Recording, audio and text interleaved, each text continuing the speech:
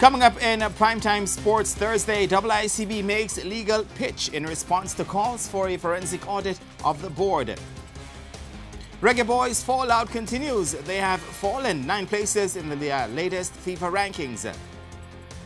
And a creditable finish for Jamaica's triathlete Laurie Sharp at World Age Group Championships in Mexico.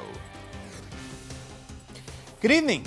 I am Jeremaine Brown, and the details of these and more when we return.